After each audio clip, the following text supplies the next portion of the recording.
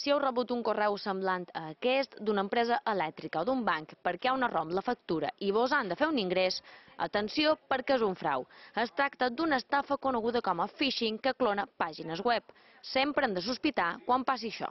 Una entidad con la que tenga nuestros datos y tenga claves personales nuestras para operar con ellos, jamás, nunca, nunca nos van a pedir rectificar o ratificar estos datos a través de un correo electrónico.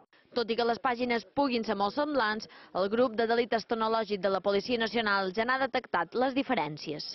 Es verdad que a veces están muy bien elaborados, pero otras veces contienen errores gramaticales importantes. Puesto ninguna entidad que, digamos, respetable eh, comete este tipo de errores. Detectar-ne el certificat de seguretat també és important. que arriba en la barra ponga HTTPS. ¿Eh? La S es súper importante. O bien un canal.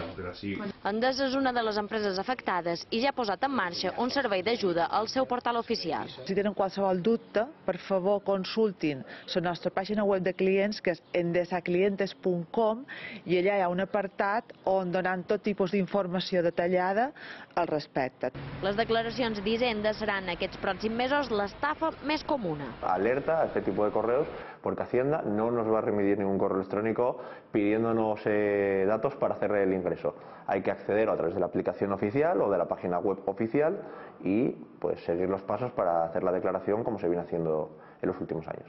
El phishing avui dia ja mou més doblers en tot el món que el tràfic de drogues.